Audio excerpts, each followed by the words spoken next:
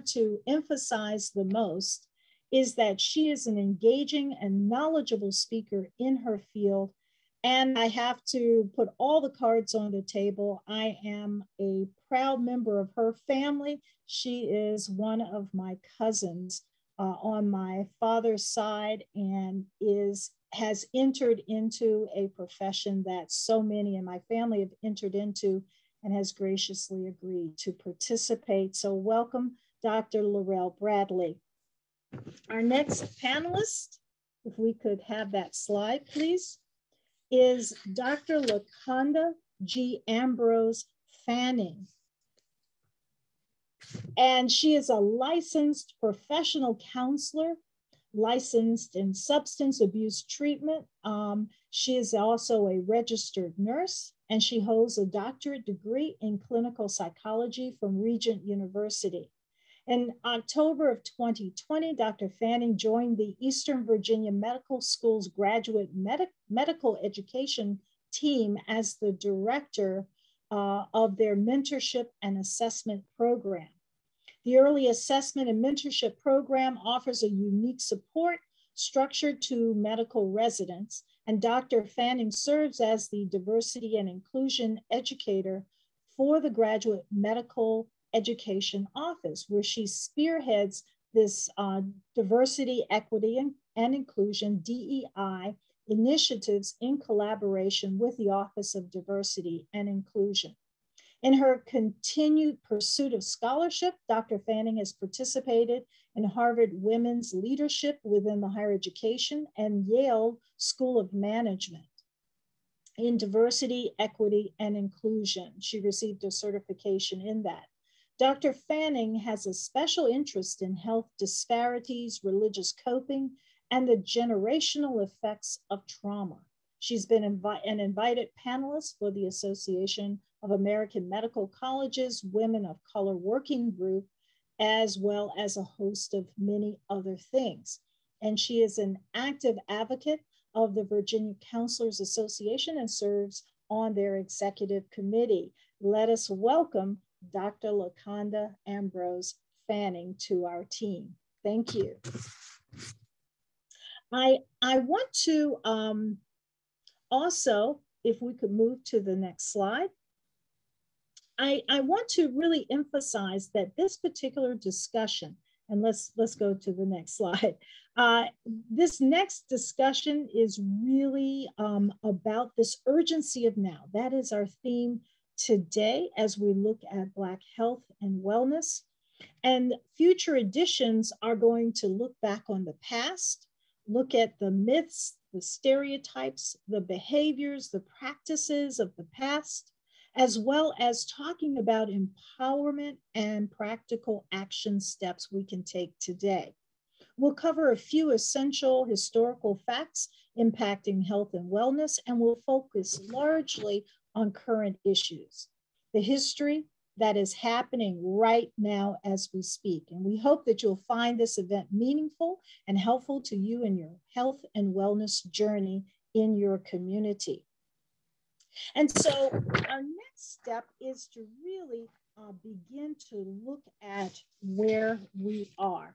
Um, and I just want to make a note that we are recording this session and so we hope that you will continue to participate in our discussion. Next slide, please. Um, we want to also take a moment to thank um, our partners uh, who have made sure that we have knowledge about the Princess Anne County Training School and Union Kempsville High School. Uh, their museum has reopened for visitors. And if you have not had a chance to go into uh, that particular museum, please do so. It is an important um, view and insight and lens into the history of our community and the history, especially in Princess Anne County. Next slide, please. Now, I'm going to hand it over to my colleague Stephanie, who's going to give us a, a few tips about our webinar etiquette. Etiquette, excuse me. Thank you, Dr. Newby Alexander. Um, please, if you have questions for any of the panelists at any time during the presentation, enter them into the Q&A tab. We've disabled the chat for ease of moderation. And um, we would appreciate if you would use the Q&A. Um, please keep any comments and questions short and on topic. Uh, and um, please refrain from using any profanity or in, inappropriate um, language. If you do that, I will have to remove you from the webinar. If you are having technical issues, please fully exit the webinar, close out your browser, and then come back in through the original link that you use. I unfortunately will not be able to provide IT assistance uh, remotely while I'm managing the back end of the webinar. Thank you so much. Thank you, Dr. Richmond. Next slide. I want to provide us with kind of a, a framing of the information that we're going to talk about today. And I thought it would be good to start off with a few statistics that some of you may or may not know. Just some quick facts on African American health. For example, 18% of the adult population among African Americans are listed as in fair to poor health, almost 20%. 19% of adult men and 12.2% of adult women who are African American smoke. 38.7%, that's almost 40% of adult men, and 55.9, almost 56% of adult African American women are classified as obese. 56.8% of men and 57.6% of women have hypertension, high blood pressure. And 14.5% of all African American adults do not have health care insurance. Now, keep that in your mind as we go through some of the statistics. So, what are the three top leading causes of death right now among African Americans? The leading one, heart disease. The second, cancer. And the third, COVID 19. Next slide, please. So, some other quick facts.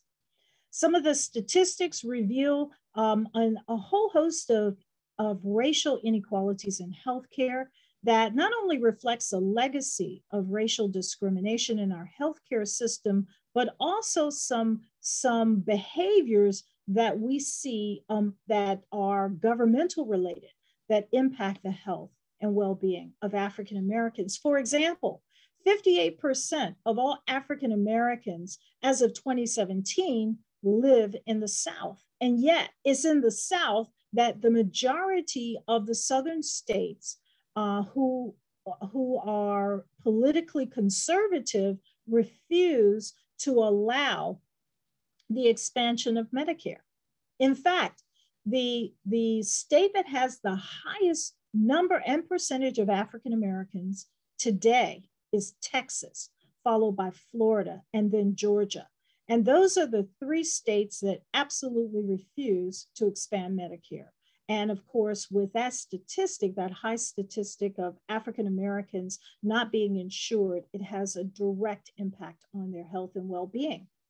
Now, because of residential segregation that was put in place by law by the early part of the 20th century, the majority of African American um, um, African American and Hispanic areas are more likely to lack hospitals and other healthcare providers. In 2018, for example, there were almost 18,000 geographic areas and populations identified in our country as not having enough health healthcare providers. And, and most of those geographic areas included a majority of African American and Hispanic peoples. Next slide, please.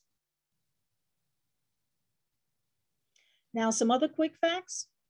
Black infant mortality rate is 250% higher than that for whites. Blacks are more likely than whites to suffer from cancer, diabetes, and heart disease. And the diabetes was the one that followed um, uh, COVID in terms of being one of the highest percentages. And of course, we know that diabetes and heart disease are interrelated. We know that Black mothers are at least three times more likely than white mothers to die in childbirth. African Americans have the highest rates of post traumatic stress disorder, and African Americans are more likely to die prematurely from all types of disease. And so much of that is the result of two things. One of them being that they are not, um, they don't have healthcare insurance.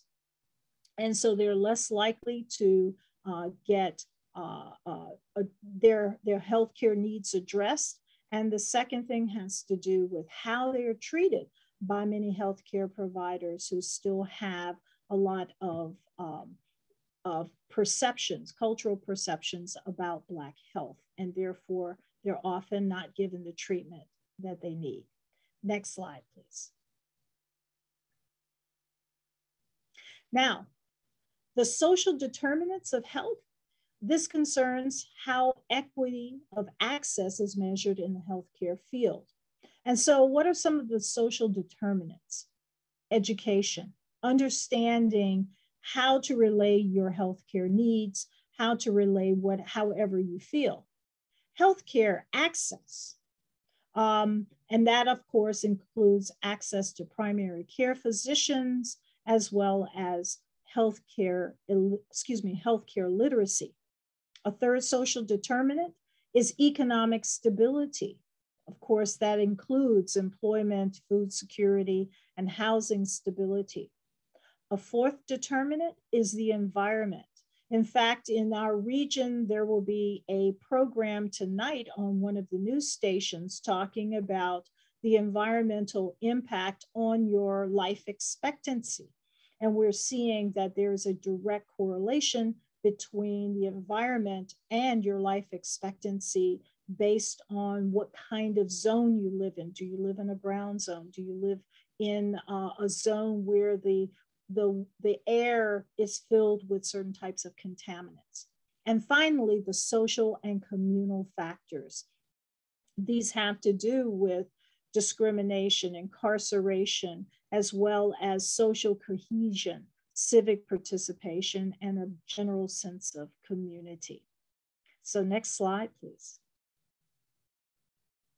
All right, so let's go to our the theme of this, and that has to do with uh, our urgent issues. And before we dive into that, we have a poll. And Stephanie, could you tell the audience about this poll? So we have a couple of polls for you today, uh, and we're going to ask for your input. What do you think the most urgent issue uh, is about health today? So please select your answer in the poll. It's anonymous uh, and we'll share the results at the end.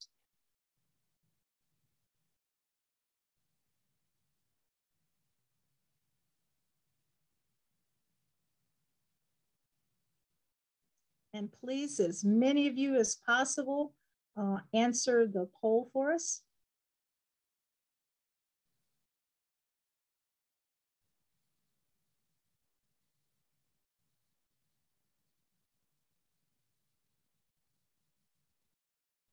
want to try to get 100% participation. So we are going to leave it up for one more minute.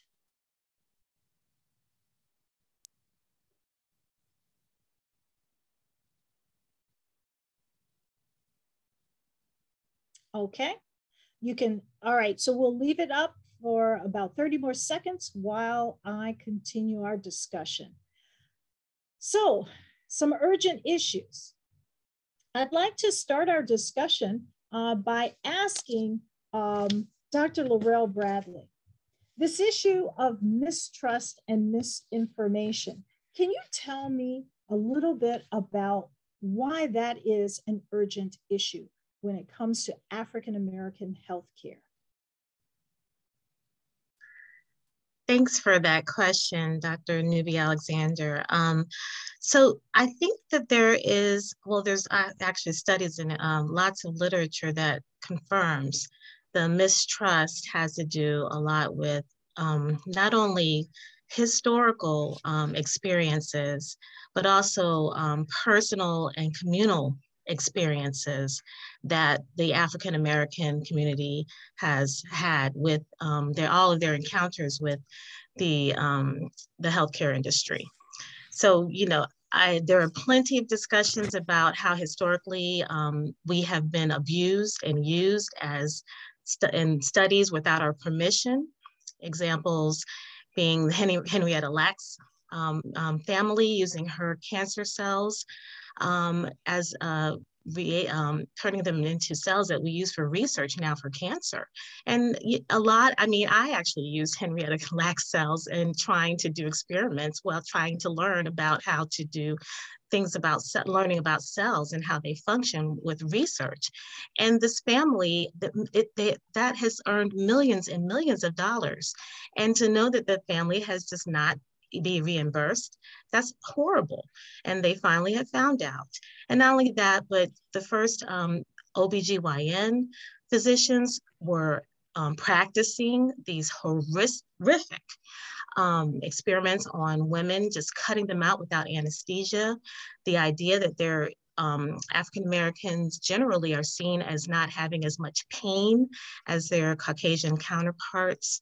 Um, and then, so historically, we've been mistreated. So that is a definite underlying state for the mistrust. And then another reason is for personal experiences. Many times when we go to physicians or healthcare providers that don't look like us, we're not going to actually have a communication experience that is well understood.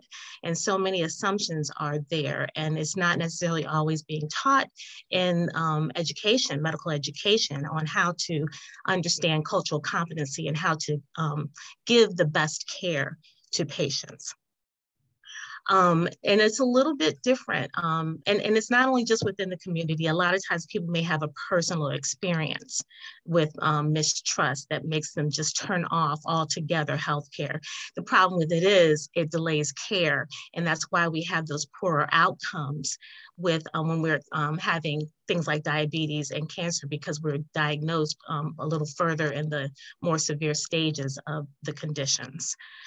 Misinformation is horrible at this point in time in the state that we're in um, in the political environment that we're in, because that misinformation is built upon the mistrust. Because many people don't trust the physicians and the healthcare providers because of the con conceived influences um, by being money, um, being insurance companies, being pharma, pharma, big pharma, as one will say, many will say, think that you know we're just after dollar chasing after dollars so we don't we're, we're holding back information. And so it has created many platforms of pseudoscience as well as pseudo medical treatments in all realms of um, diseases and including diabetes including heart disease, including, of course, COVID 19. So we're in a significant pandemic, if you will, of misinformation and disinformation. And mistrust has been, um, it, it's, it's not just a pandemic, it's been historic.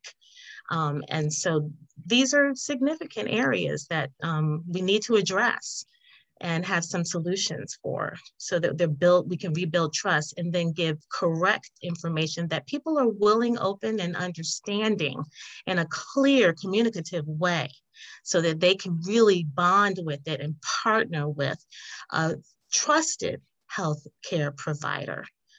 Uh, so that those are all things that are urgent issues at this point in time so we will be delving a little bit more into some of these issues and how this misinformation um, is causing um, all laypersons to think that they are healthcare experts. Uh, and that leads to even more misinformation. But we're going to delve into that in just a little bit. This next uh, issue, I'm going to direct to Dr. Fanning. And I'd like for you, Dr. Fanning, to speak about this history of societal medical abuse. Uh, Dr. Bradley touched on that um, as one of the contributing factors to the mistrust, but I was hoping that you could give us a, a little bit of a deeper dive into why is this such an issue today?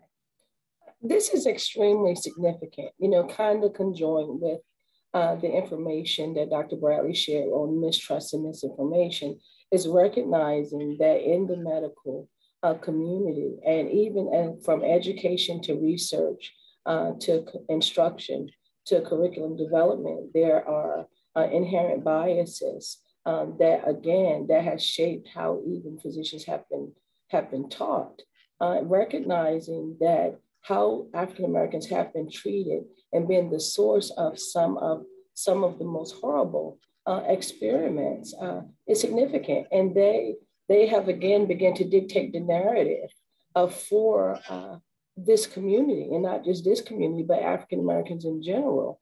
And so you, there has been a foundation that has, um, again, kind of permeated uh, unnecessary fear uh, and uh, uh access to issues. And remembering that um, African Americans, by nature of the culture and our cultural trauma, that we have not, again, you're asking us to trust someone that has never been seen uh, as a partner uh, of our health, a partner uh, in uh, our wellness. And so, and again, it's much, much larger now than just Henrietta Lacks or um, the Tuskegee experiments, uh, because we continue to experience uh, on an individual level and a collective level still some remnants of medical abuse when you have uh, access to care issues and you have issues with uh, health insurance and, and medical coverage. And uh, when you have evidence of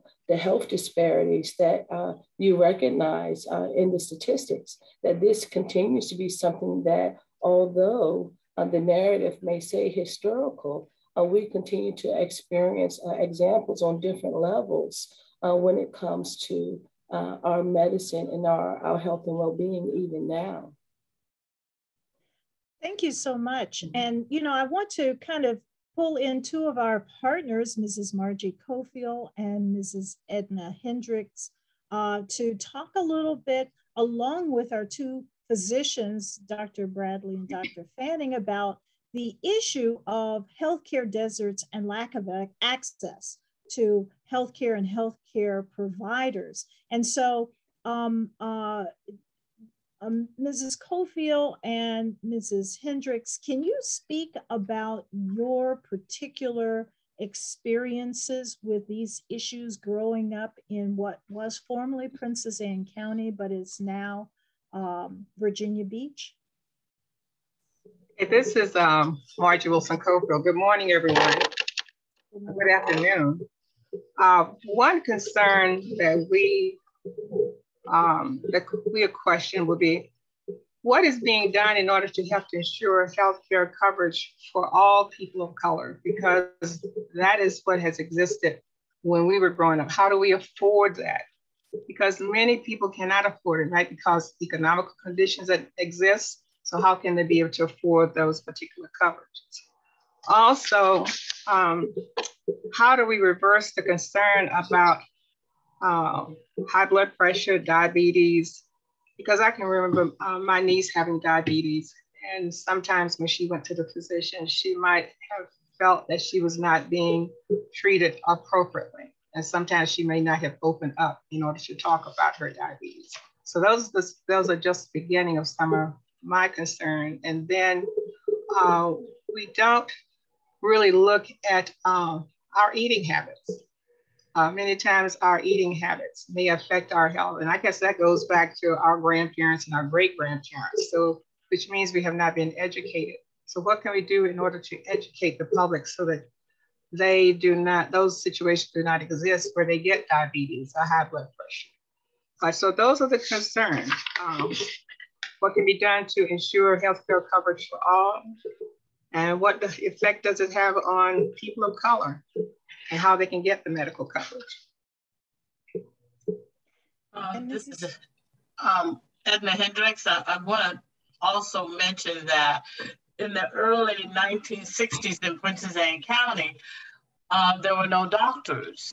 And when I grew up, we had to go to Norfolk, even to see a dentist, to see, um, even for our hair, um, if we had skin problems, no doctors until about the early 70s. Um, the only thing that we had in Visiting County for doctors were midwives. And midwives, um, some of them would go if they have medical problems, and the midwives would say, you know, help them with a cold or something like that. Um, I did some research, and there was a doctor that came in 1930s. Can you imagine this? 1930s. And he rented a room, and everyone in the community, um, they spread the word that he was going to be there that day, and families came to seek health care. So for so many years, the African Americans had no access to health care. And when they finally did, uh, a lot of them attended um, the only white hospital that was in the area uh, because there was no hospital for us except for we had to go to Norfolk again for Norfolk Community Hospital. But at the white hospitals, we were in the basement. So treatment didn't come accessible to African Americans in Prince County until the late 60s, early 70s. Mm-hmm. Also, I can add that uh, when Mrs. Hendricks brought up midwives, uh, we have a group called the United Order of Tents. And um, during that time, uh, that which was formed in 1867, and they train individuals to become nurses in order to care for those who were ill. And some of them worked along with the white doctors. But also, those ladies were also midwives in order to go into the community to help those individuals. I remember Mr. Reed, my band director, telling me that Miss Cora Wilson, my grandmother, was one of the, the midwives. And I remember also when I was a little girl, my mother had to take me to Norfolk. And when my sister and I were hospitalized one time, we were in the basement of the Virginia Beach General Hospital we could not be up on the floor where the whites were. So that lets you see also the situation that exists at that time. So the point that you two bring up, and Edna, I'm sorry that you're having some audio issues right now, um, mm-hmm. because you did make some really important points about um, lack of access uh, for many people who were growing up and living in Princess Anne County and later on in Virginia Beach uh, during the time of segregation, especially when African Americans uh, had a hospital in, in uh, this part of Hampton Roads called Norfolk Community Hospital. On the peninsula, they had um, Whittaker Memorial that became uh, Newport News General Hospital. Um, and then, of course, you had some smaller uh, hospitals or clinics uh, around, but they were few and far between. And today, um, we have the Sentara system and we have uh, Bon Secours system uh, and a few other smaller, um, although it's difficult for the smaller or privately funded groups to survive the, the corporate onslaught of healthcare providers. And this has limited access for many people. They have to travel um, sometimes upwards of 15, 20 miles or more to get to a medical facility or even to uh, the closest um, physician. And so I want to kind of um, pull uh, doctors Bradley and Fanning in on this to um, tell us, you know, why is it then uh, that these issues of, of a healthcare desert or lack of access um, is really an urgent issue? Well, um, I can answer um, just kind of, of a global reason why and just experiential for the Northern Virginia area as well as the DC and um, Maryland. Um, I think there was a question in the chat as to whether um, we are expanding Medicare, Medicaid. And that is a yes with Virginia. Um, there is expansion there. Um, and there are um, enrollments as well as going to medicare.gov and Medicare, Medicaid.gov. And I'm looking it up, um, dmas.virginia.gov gov discusses in detail the Medicaid expansion. Now, those are um, wonderful that the money is there, but is that is it being as, accessed um, accordingly to the need? Because a lot of times to qualify, there are lots of high standards to qualify for those um, for that as well um, for for the monies that are made available um, as um, Dr. Newby Alexander described. And so, um, and then transportation is a huge barrier for care. Um, not only just to see a provider, um, and we're very thankful for not just physicians, but our physician extenders, including nurse practitioners, midwives, um, physician assistants, because they play a significant role to be able to deliver care to the community.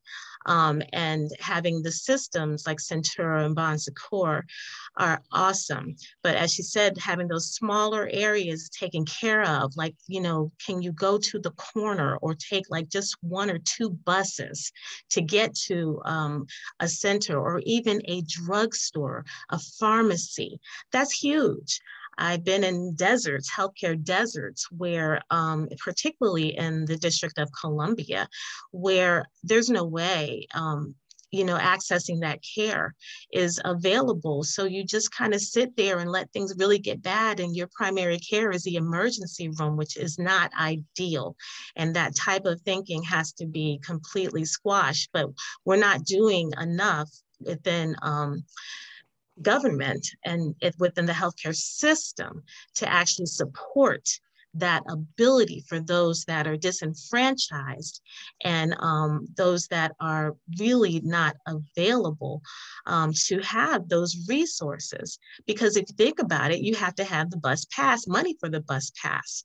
And if you're having one of those social determinants of health that um, Dr. Newby Alexander described, where you're choosing between rent, electricity, water, and food. And then here comes healthcare. There are priorities that you have. So it's no wonder why things stay the way they are, and people are arguing against um, their um, against being, you know, it's unfortunately it's policies. I will say policies at this time that are things that need to be implemented to change. So I would actually encourage everyone that is on this call to register and vote so that policies can change so that we can actually implement these types of things when they're carried out. And administration has changed in Virginia, and there are threats to the access and expansion of these things that have been federally mandated and available, but it won't trickle down, quote unquote, to the local areas like Princess Anne, where there's you have to take maybe a few buses and you have to go into Norfolk. That's a significant um, barrier to access. It won't trickle down if people don't vote and don't have information to to be able to properly implement the policy so it doesn't get swallowed up. Because those bigger organizations they know how to write for their money. They know what the key words are to get it. And they will just have they just check check check off lists um, so that they keep the money. And that's the system. It's designed that way um, and, and they'll have a couple of um, things like federally um, mandated healthcare um, um, quality medical centers, FHQA, where some physicians that are really just physicians from the heart will just take a quarter of a pay to be able to be able to deliver care. And um, you know so there there are lots of factors that um, contribute to the healthcare deserts and um, and I think that um, dissecting lack of access is huge. Yeah, I, I just wanted to add to that as well that um, right now we're in a time where there's many, many types of insurances. I would even uh, ask in reference to not just the underserved that may have to benefit from um, Medicare or Medicaid, but many people uh, don't know uh, what insurance actually covers. Uh, and they assume that, so it's a definitely a knowledge deficit, access deficit, but all these complex levels kind of expand the disparity in healthcare from even knowing and advocating who is your um, who is your congressman, right? And, and making them aware so policy change can continue uh, and these issues can continue to stay in the forefront. Um, but also, two, um, knowing your health insurance and knowing that you do have a voice uh, and uh, know what you are actually uh, paying for and what's covered, but taking the uh, a, a, little accountability just to again become aware of that. We're in a major time where many um, people that pay for health insurance uh, don't know what's covered under that plan, uh, and that the employer um, may change their plans uh, and increase the deductibles of, uh, of the health plan without even the employees being aware, right? And so most people know that they get a new insurance card uh, every year uh, every two years with the update of your deductibles uh, and, and the changes in the amounts from uh, specialties and what's not uh, non-specialties.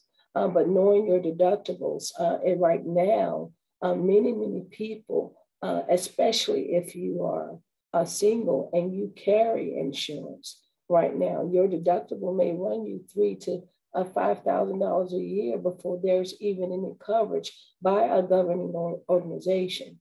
Uh, and so being more aware uh, uh, and getting the information and, and, knowing how to ask the questions uh, before a crisis occurs or before you need to, to use it and to see even when it comes to uh, having a primary care who is your service coordinator uh, and knowing how to ask the right questions to make sure uh, that you get the service that you need.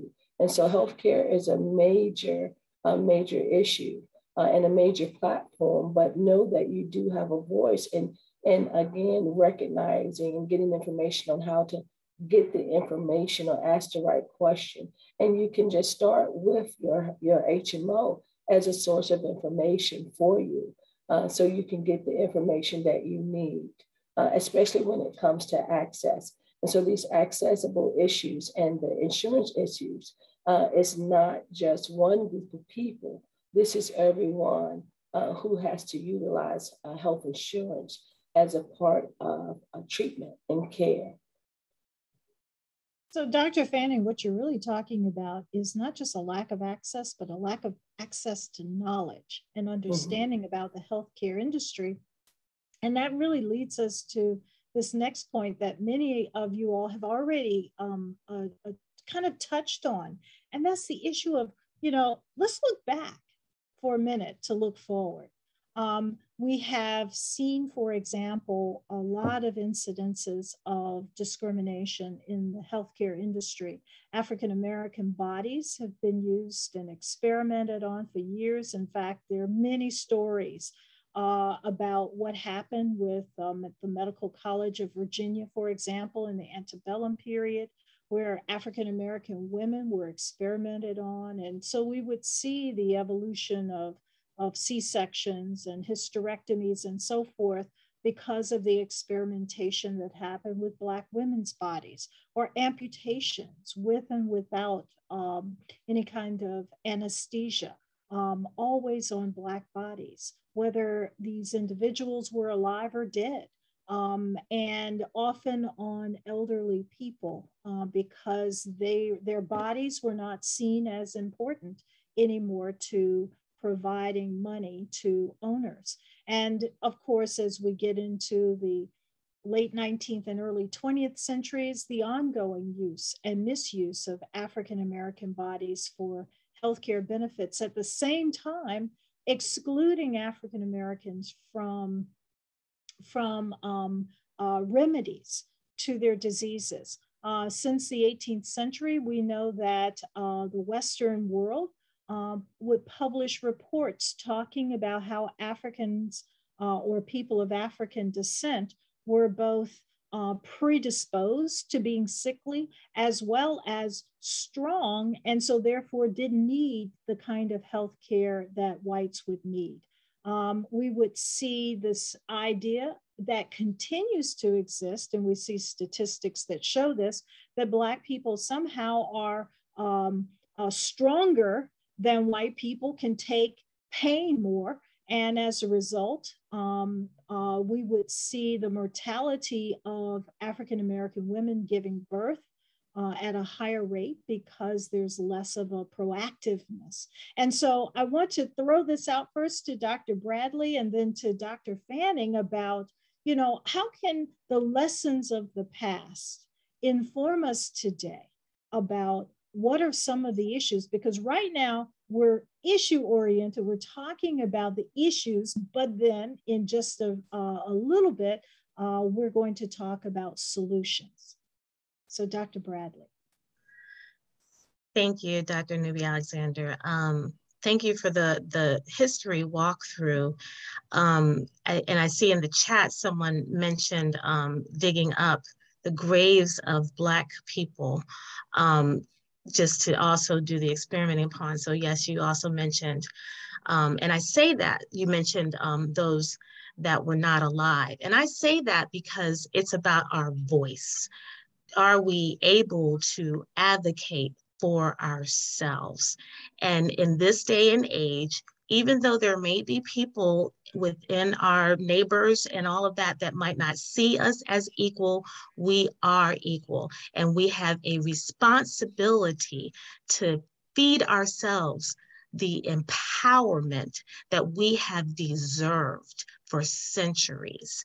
And in that vein, these types of webinars and the types of seminars and everything that Dr. Fanning and um, Ms. Hendricks and Ms. Cofield are discussing, learning what's going on, that type of, um, it's rage that, that we experience, but how do we utilize it instead of just being mad? So realizing that you have just as many rights to go and say, I can change my physician. I can change my health care because the deductible is too high. And then call the 800 numbers. And if you don't like how they sound, hang up and call again. It's that noisy wheel. It's the squeaky wheel that he gets what they need. Um, and I know I'm saying the thing wrong, the, what's wrong. How um, the the squeaky wheel gets the oil, but um, you know, so many times it's because of our lack of um, our tim- being so timid.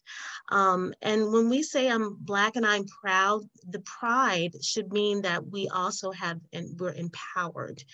Um, a solution is also getting not only just being responsible for the knowledge, but also perhaps seeking to have somebody that you know has the knowledge, um, an advocate if it's a friend that you know that's a nurse or a medical assistant or a physician or a nurse who has some medical knowledge, they can be a representative for you. Run it by them. I can't tell you how many times friends, family, they will FaceTime me, text me from some of them from abroad and they say well i have like my doctor on the phone. And that just kind of raises it up another level so that people are paying attention um, so that use your resources that we're out here um, and want to make sure that because it's about this community um, you know, connecting us with the community so that we really advocate. Um, and, and we have to advocate for ourselves. Those of us that have got received the education, we did it specifically because we have the communities and we personally have experienced the type of discrimination that we have had. Um, so it's it's really important because you know a lot of times um, it, it's hard to, um, again, the trust factor, the misinformation, those are other things that we really need to touch upon. Um, and I'm going to allow Dr. Fanning to um, go ahead. I mean, if that's okay, Dr. Newby Alexander, I, I can be so loquacious. So. no, no, I'm, I'm just going to add, you mentioned something that's near and dear, and that's recognize your level of empowerment. Recognize that you do have a voice uh, and uh, your health care and in your wellness, but take a step towards your own well care plan.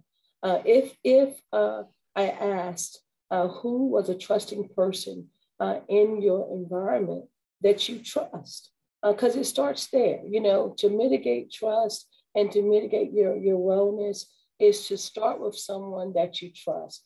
take someone with you to the physician if you have one. If not, don't be afraid to ask questions that you don't know. right? Don't be afraid because usually we'll ask, but then we may get discouraged. And sometimes because of that, uh, that myth of being strong, uh, we won't say, I don't understand nothing that he said. You know, I was on a panel yesterday and uh, one of the gentlemen said, when I went to the doctor and he said, um, um, your A1, we need to do your A1C. Right. And so he immediately shut down. I was like, what, you know, what is that? Why, why do you have to do an A1C? But he would not go the extra step to say, I really don't understand uh, what you're asking. And that piece right there is uh, attached to our level of trust and the mis, mis and the misinformation. And so we have to, again, reframe, take a step to know that you are in power. We do have a voice. Uh, and uh, go back, find that nurse, as Dr. Bradley mentioned, or that trusting person or that person that you value their opinion. And even if they can't find the answer or have the answer, they can help you navigate the system to find a resource for you. Okay, and, and that is that's the beginning step is how we do and gain knowledge, uh, but we have to challenge our own level uh, uh, when it comes to healthcare you know, and, and it used to, again, um, I spoke the other day about values, beliefs, and tradition. So again, just pushing beyond what I'm told from my parents or the insurance man, I call it the insurance man mentality. What said, that's it. You don't question, right? We are beyond that. And so we have to, again, rescript the narrative to one that it's okay to ask questions. It's okay to get information or to access it. Uh, and so um, just kind of think about that, but knowing your personal history, connecting with not necessarily a provider, but a person that you trust that can become an ally or advocate for you. Thank you. You know, I'd like to have us uh, to do our second of three polls. Uh, so if you would take a minute to just answer this uh, poll about trust. And Stephanie, could you tell them a little bit about this? So we're just asking to, to take the temperature of the room here, and we want to know, do you trust your healthcare providers? And we just kind of gave you a scale between not at all to absolutely. So please uh, pick what you feel think feels best. And as you all are completing the poll, um, I just wanted to move forward um, and, and really kind of give a comment about, you know, this whole idea of looking back to move uh, forward. Um, a lot of times uh, people have said, um, you know, the past is the past. Why are we talking about the past? That has nothing to do with me today. And of course, the past has everything to do with you today. Uh, when we think about um, the first time we go to a doctor's office and we have to fill out the thousand and one forms. What is the one form that comes first? Asks about your family history, your family medical history, because history does matter. But in order for the doctor to address your current needs and your future needs, they need to know what happened in the past. They also need to know what you've been eating in the past what kind of of uh, health care have you had in the past? Have you had injuries? Have you had certain types of conditions? Do you exercise regularly? Do you have a healthy lifestyle? Because that impacts your current and potentially your future healthcare needs. And so, but there are some other things um, that we are uh, having struggles with, and, and that has to do with this next point, and that is combating myths and, stu- and superstitions about health healthcare and and uh, uh, what the the your health is all about. In fact, one of the things that uh, is our biggest challenge today has to do with all the so-called experts we have on COVID-19. And yeah, I'm going to just start that conversation right now. Um, and, and there are a lot of myths and superstitions going on today. One of them has to do with um, the, the vaccine has some sort of nanotechnology that's tracking you. And, um, and that's kind of humorous to me because when people are saying that, they're saying it on their phones. And their phone is the main instrument for tracking everything that you say and do. And people aren't realizing that or not understanding that. But what are some, some myths and superstitions that, that you, Dr. Bradley, and you, Dr. Fanning, have, have encountered? And, and, and this is both in terms of our medical health as well as our psychological health. And I was wondering if you could dive into that. What's amazing to me, I, I'll start there, is just the impact of the myths. Uh, and then I share a few that I, I have experienced uh, in, in, in my daily work. Uh, but what is significant about that I've heard, regardless of how much evidence that we visually have had from um, the deaths and the sickness, and even with the experience of people in our inner circle, the myth is still extremely powerful when it comes to influencing your decision making, whether to get vaccinated or not, or whether now you even get your child um, vaccinated. And so uh, I think it's uh, extremely uh, relevant, like Dr. Alexander mentioned, to mention the, the power of the myth from uh, the nanotechnology to um, you. I, I wasn't aware before when you mistreated my people, but I'm aware now. So there's this extreme cultural paranoia about harm. And, and there's an irrational fear uh, of being harmed.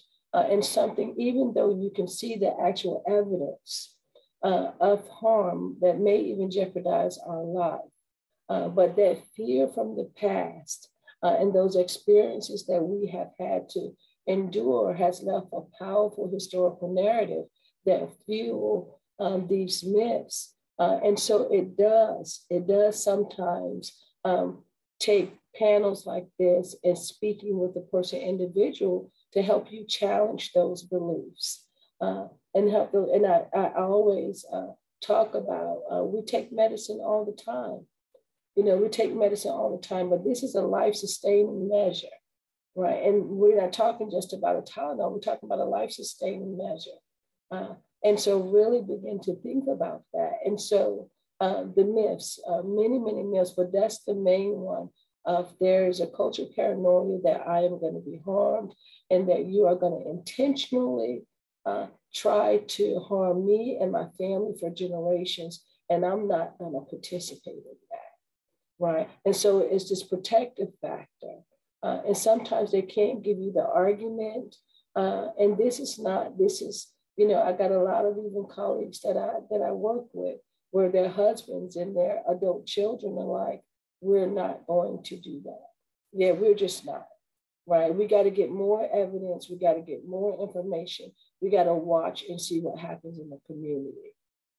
Right. And so, again, this is where we are. And that's why information and accurate information regarding COVID uh, is extremely important.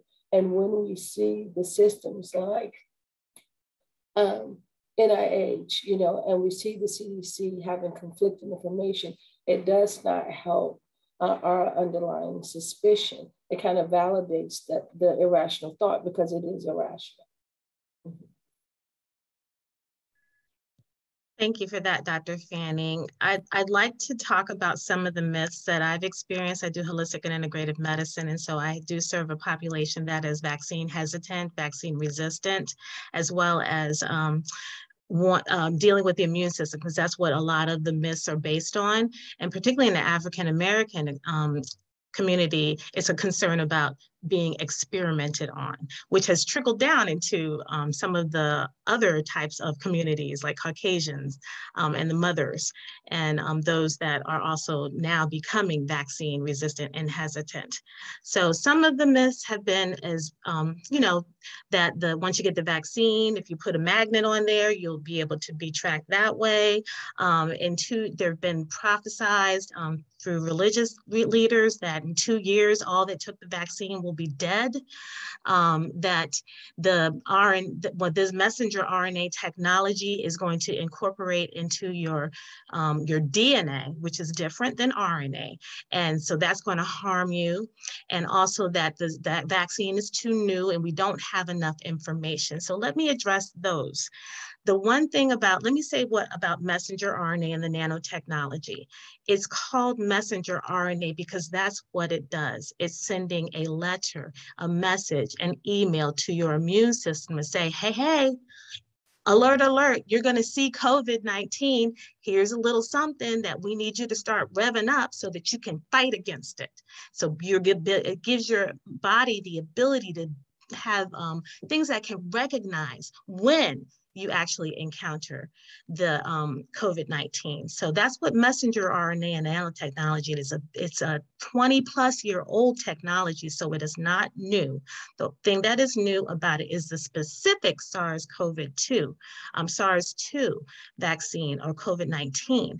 Um, um, which is a virus. They've been using it in cancer technology. It's been used in other forms of um, SARS um, and, and um, coronaviruses.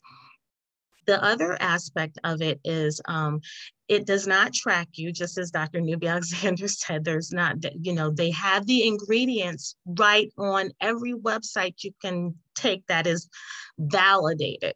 I'm talking about don't necessarily go to Dr. Google. Dr. Google is going to give you a whole lot of stuff. You go to NIH, CDC, the um, the those are two very good uh, um, resources for people to go to. Now, the, uh, the issue about it being too fast, too new, and I'm an experiment, it actually has been fast tracked and it's been under the emergency use um, authorization because of the volume and because of the money that's been put on. It's allowed for there to be a shortened amount of time for the vaccine to be pushed out.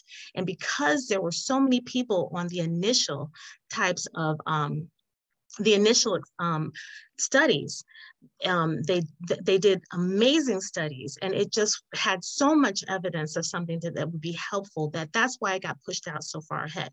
Now it became a bit of an issue because it was being held back from African American communities when it was like just rolling out last. Um, oh, sorry, rolling out last um, spring. Um, you know, because we had a government mandate for that we had people from other communities coming into those that were given to the African American community and taking the vaccine. Um, it was disproportionately actually affecting African Americans because of our physiology, our genetics, our health overall, because we do tend to have things like vitamin D deficiency because of our darker skin. Um, you saw that we are um, at least 50 plus um, percent obese, and that's a factor because it's an inflammatory thing. Many of us have heart disease, and it also has to do a lot with inflammation. So these types of things, beware of. And it's hard, so hard to trust the what the federal mandated things in government are and what you do is again we're getting back to trust find healthcare providers, people that you know that you trust, because you don't want to get COVID. And you don't, and it also has to do with, say, you have diabetes, diabetes, you know, sugar diabetes. And I've gone, I'm very religious and go to church all the time. And I've heard I, I will take, you know, things like, and don't take this out of context, you know, but, um, you know, Jesus is going to heal me of that. And then next thing you know, you're getting amputated because it has not been controlled. And so when I, one thing I'd like to suggest that would be one of the things that can help when you go to the doctors, if you have questions, write them down. It speeds up the process and don't don't get your questions answered um, so that you can uh, what is just like what Dr. Fanning was saying what what is a hemoglobin A1C what does that mean what does that test you know um, make sure that you're getting taken care of um, and, it, and it has a lot to do with us being mistreated within the community. The superstitions are amazing. I'm talking amazing. And there's a stigma attached to having disorders and disease. Um, stigma still with cancer, stigma with mental health, stigma with COVID. Um, it's huge. Um, so not just superstitions, but you know, you're not taking care of yourself if you actually get this, you know, or suck it up. We've never had that problem. You know, we're strong enough, particularly dealing with mental health. Those are factors that are um, extremely important to kind of dispel dispel these myths, dispel the rumors, destigmatize, meaning don't make it weird don't make it abnormal because right now in this age because we, we had to do that stigmatizing to be stronger because we didn't have the access before. We have it now.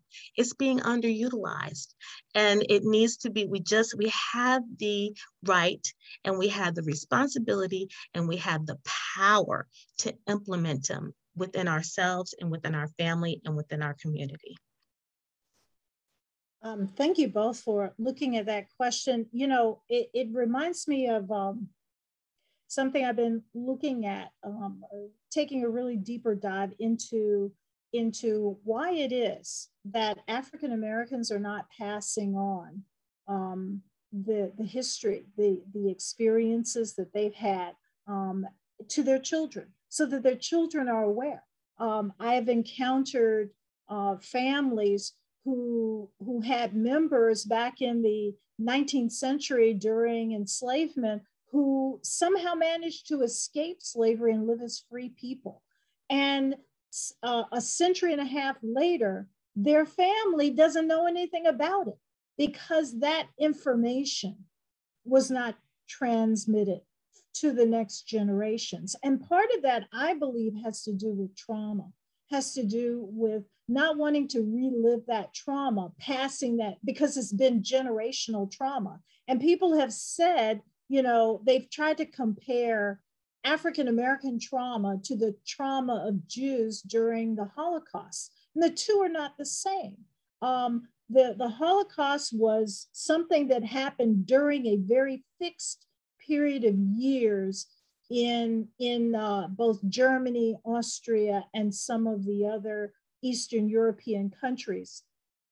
But slavery happened over a period of hundreds of years, and it was generational. And it was not something that happened during war. This was something that was a, a, an instrument of, of commerce and empire that was utilized to enslave and I should say use the the bodies of millions of people as slaves to build colonies and later nation states. Very different situation. And so, as a result of, of um, this trauma that we see that's ongoing among African Americans, this knowledge of your personal family healthcare history is also not being passed. Um, and I was wondering if you all, all of our panelists, can briefly speak to that issue about why this is an important and urgent issue that you know about your personal family healthcare history. So not everyone speak at once. And so perhaps we can go to Dr. Fanning. Yeah, I'll, I'll start there. I uh, um, this is this is my perspective, especially growing up in Virginia. I think that uh, I am um, blessed uh, in regards to, and I know that's a religious word, but um, in regards to knowing my family of origin, um, knowing my uh, from my slave background to where my family name came from, uh, to where uh, my grandmother uh, uh, coming from as a Blackfoot Indian and knowing the story. Uh, and so my identity is really much set and just having that strength in who I am. But that's something, being able to have a foundation of those stories and things that are pa- passed on are significant and be- what becomes a priority and your focus in who you are, including health, including of being able to make decisions, including to being able to empower yourself. Uh, and so I think it's extremely difficult when uh, you have a history where er- everyone, as an African American, where your family has been intentionally broken, uh, and uh, you got to know what to pass on. You always don't want to pass on the bad, not knowing how to differentiate the bad. You know, if I mentioned anything about being African American, what was highlighted the most within my family uh, is things that are harmful and hurtful, right? And so uh, I think that's part of the issue um, that you mentioned with the generational trauma. Uh, and how do you uh, find the resilience and the strength that's also, okay, very much so a part of the African American experience? How do you find those stories uh, in your family? Again, so you can also kind of mitigate change and the scripts that you know. If you ask anyone past for one generation, uh, and sometimes two, uh, who were those family members? How powerful, like uh, Dr. Newby mentioned, Dr. Newby Alexander, about being able to make it through slavery uh, and what that means, right? And what kind of strength that is in your family. Uh, but being able to take the initiative to change the narrative, that takes time and that takes a person who's commit, committed to changing that, that again, that may not have to uh, always remember the harm, right? And so I think it's very important uh, for family to even talk about that. When you're at your dinner table, uh, it's very difficult to, to talk about a narrative that's positive, right? And that's not our day to day survival. You know, one thing that influences African American families and our ability to pass on information is if we look at uh, it's this um, hierarchy called Maslow's hierarchy of needs for African American families, we are always in the near bottom of those needs and meeting our physiologic needs and our financial needs and our health needs. Uh, and so we can't even really get to the next level because we always are permeated. And can you think about always the narratives that I that I have is always uh, depressing, right? And so uh, it takes time uh, to rebuild the story. Slavery is something that we've experienced for generations and generations, but it's much more to being an African American than being a slave, right? And so, just how, again, looking in your family, speaking one by one, uh, one thing that we would do to help that uh, is recording uh, seniors in the family, listening to their stories, having story time within the family, but getting with your family to try to rebuild the narrative uh, to help uh, the other generations, which is very, very important, or the younger ones, uh, to really stay connected to who we are because it's so, so much uh, that African American experience has offered us on being resilient and powerful uh, and who we are and, and our identity. And those lessons really need to be captured Absolutely. And so that again, I just wanted to, to, to mention that and start that off. But it takes the it takes someone taking the initiative to want to keep the family of origin and the narrative uh, in your family, but it's strength and power in that. Uh, this is Margie Wilson Cofield, Dr. Newby Alexander.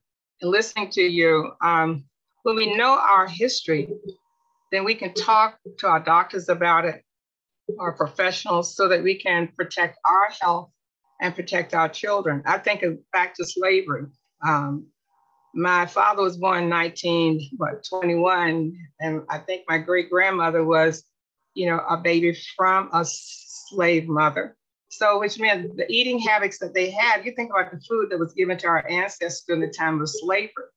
So, and I'm going to mention some of them pig's feet, pig's ears, all of those things. So, therefore, they're passed down generationally. They did not know that their health were being, um, health was being affected negatively. So, now that we know at this time, then once we get the resources, we can talk with our physician and find out what can we do to eat in a healthy way so that we don't get high blood pressure, diabetes, or whatever. And then we can prepare those foods for our families. And then we can break that tradition of eating food that's uh, not healthy for us. So that's the view that I see. And then also, uh, what can we do as far as the community? Uh, we need to go out to where the individuals exist, people of color exist, going out to people who are colored exist, going to the churches, going to community events, going to organizations, meetings, and then by going to where they are and talking about the problems that exist, then that means that they can feel more at ease in talking with us. So you have to, if the, if, if the problem doesn't come to you, we go to where the problem exists, where the people exist. And then they can pass that on to uh, people in their churches, uh, people in their communities, uh, even have health fairs in the communities to bring awareness to them. So go to where the people are and say, listen, we know that this existed in your family in the past, but this is what you can do to break it. Uh, I'm Edna Hawkins Hendricks, and yes. I want to, can you hear me? Uh, and I want to say that I am a cancer survivor. Um, my mother had cancer, and I didn't even know I had it until my mother went to the doctor, and she was diagnosed with cancer, and they said, well, we need to check your whole family. And we said, well, she's the only one that's had cancer, so um, we all took the test. I'm the only one that came back that had cancer. And it was in the advanced stages to the point that I had to have surgery to have the cancer removed. So then we did tests on my daughter and found out that she had polyps. So it was very important. So I started going back and digging into my family history, and I found out there was cancer on both sides. So now I I just tell everybody you need to check your family histories because had I known that, I could have caught mine so early, and my mother could have caught hers so early that we we didn't have to go through all the surgery that we had to go through. So that's why it's very, very important.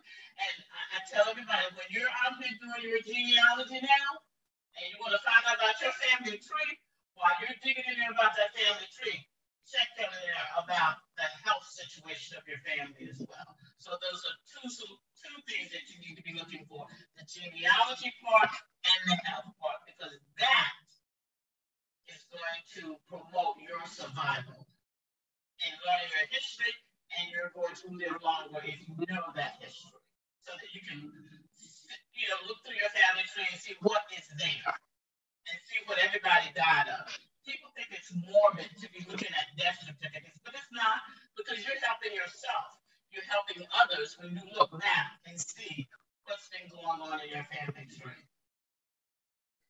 Thank you, Edna, for bringing that point up. One of the things that I've noticed, um, I use Ancestry for a lot of genealogical research, and I have noticed that um, Ancestry is starting to put traits in there, and there's they're expanding into medical traits. And I know that there is a lot of concern among people uh, about getting tracked because they they're fearing, uh, and in some cases rightfully so, that insurance companies may charge them a higher rate if they know that they have certain types of conditions, predispositions in their family.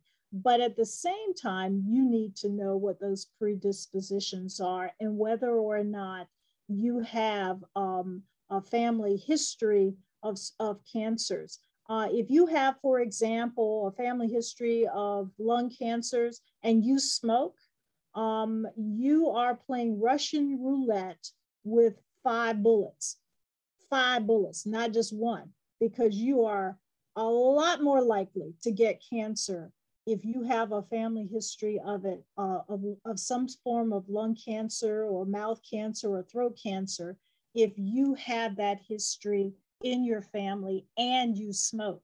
There are people who get lung cancer who don't because they're being exposed to uh, some carcinogens in the environment in which they live and don't really realize that. So, Edna, you brought up such a very, very important point.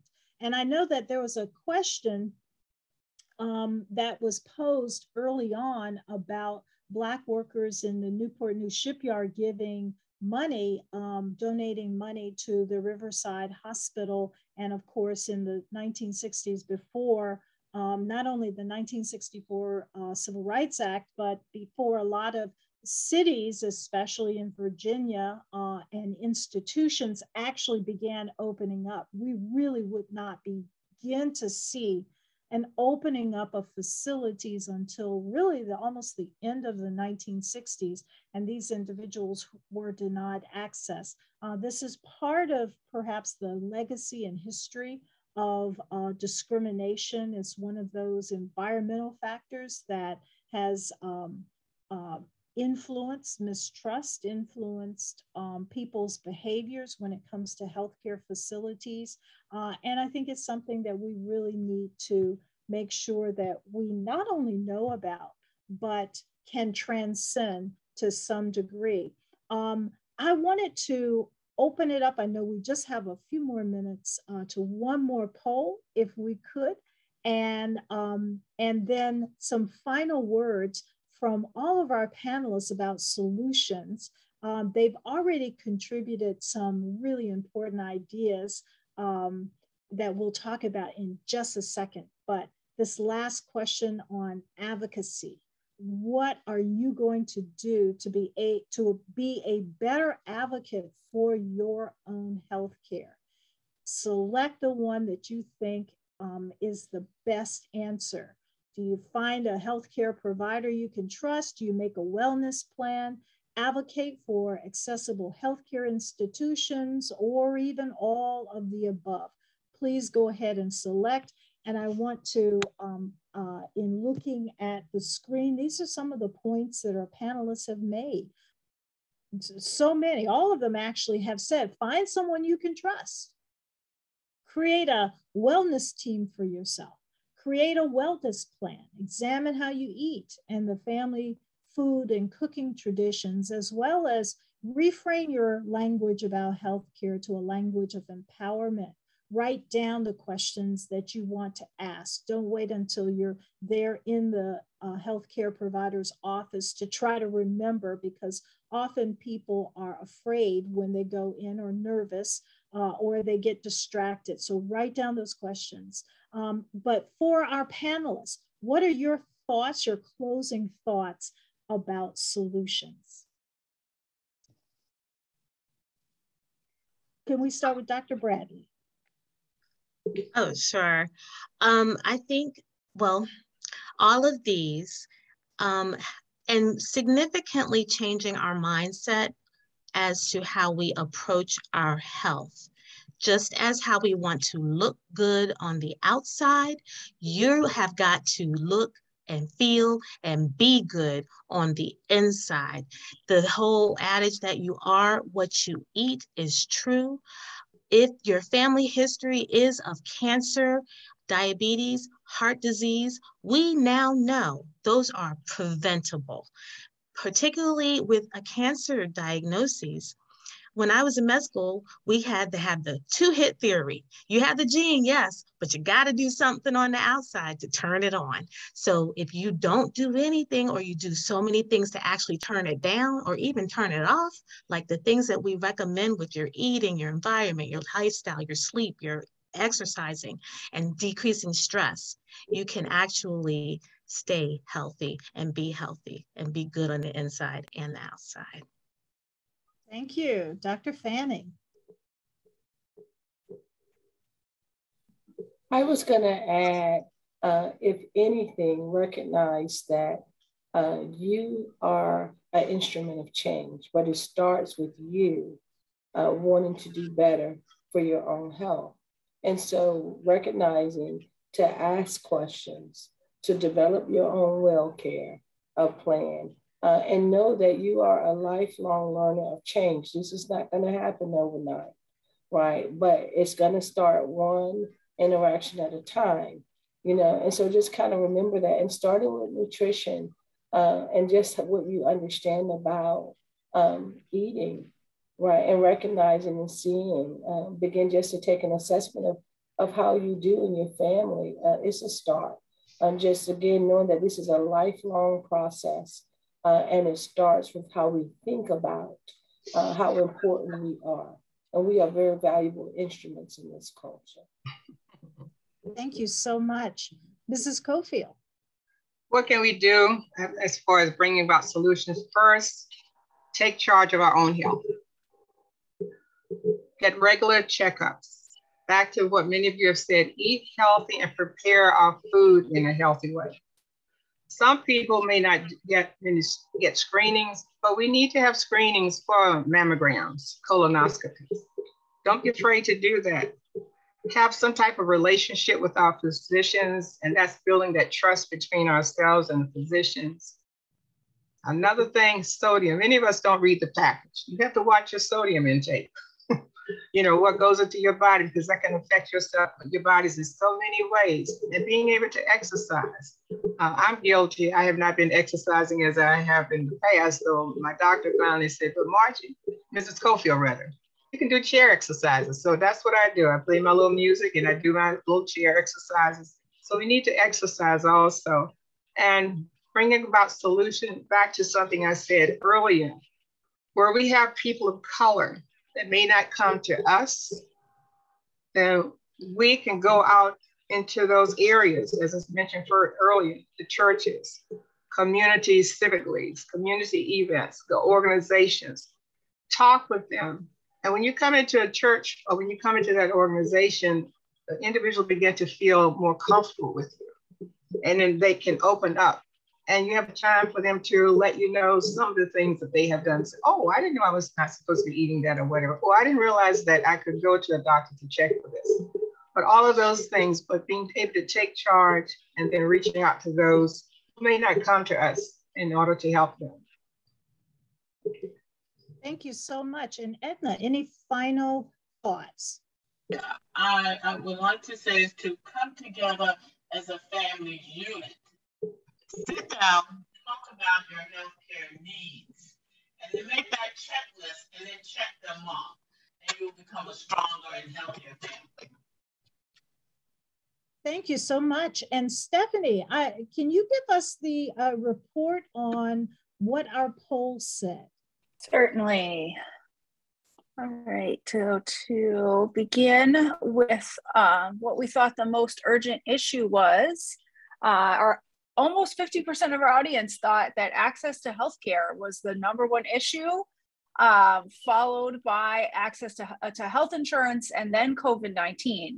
Uh, I think we're really seeing a shift if we had asked this question maybe six months or a year ago, it might have been quite different. But I know many of us have probably experienced um, the difficulties getting doctor's appointments or particularly urgent care and emergency room care uh, because of the burden COVID 19 has put on the medical system. And so it was, you know, it was, a, you know, maybe the straw or the, the bale of hay that broke the camel's back. Um, all right, our next uh, pull, our second poll, when we talked about trust. Um, that it looks like actually our audience is pretty trusting of the medical of their healthcare providers. Uh, 50% was mostly and 30% absolutely. So 80% of us are reasonably trusting in our medical providers. Um, the people who answered sort of in a little bit maybe have some food for thought for today. Um, and that was great. Everybody who was on the call when that uh, poll was up responded. So it's nice to have, see um, a great feedback. Uh, and then for our final uh, one about what are you going to do, um, a lot of people, 70, almost 70% said they were going to do all three of those things, right? Find healthcare provider, make a wellness plan, and advocate for accessible healthcare institutions.